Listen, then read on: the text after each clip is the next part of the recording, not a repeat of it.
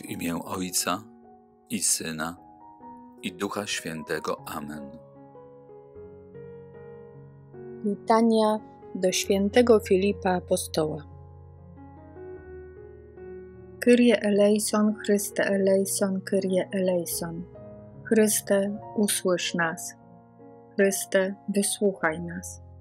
Ojcze z nieba Boże, zmiłuj się nad nami Synu Odkupicielu świata Boże, zmiłuj się nad nami. Duchu Święty Boże, zmiłuj się nad nami. Święta Trójco Jedyny Boże, zmiłuj się nad nami. Królowo Apostołów, módl się za nami. Święty Filipie Apostole, módl się za nami. Święty Filipie, uczniu Jana Chrzciciela, módl się za nami. Święty Filipie, uznający w Jezusie Mesjasza, módl się za nami. Święty Filipie, nazywany mężem sprawiedliwym, módl się za nami. Święty Filipie, posłuszny wezwaniu Chrystusa, módl się za nami. Święty Filipie, powołany po Piotrze i Andrzeju, módl się za nami. Święty Filipie, krewny Chrystusa Pana, módl się za nami. Święty Filipie, wytrwale towarzyszący Jezusowi, módl się za nami. Święty Filipie, serdeczny przyjacielu Jezusa, módl się za nami. Święty Filipie, proszący, by Chrystus pokazał Ci Ojca, módl się za nami. Święty Filipie, wzorze pobożności i umartwienia, módl się za nami. Święty Filipie, mocą Słowa Bożego wypędzający złe duchy, módl się za nami. Święty Filipie, obrońco i wspomożycielu wiernych, módl się za nami.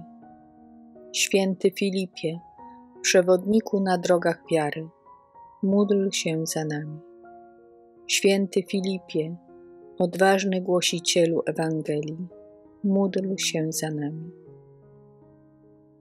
Święty Filipie, orędowniku pogan szukających Mesjasza, módl się za nami. Święty Filipie, założycielu kościoła we Frygii, módl się za nami.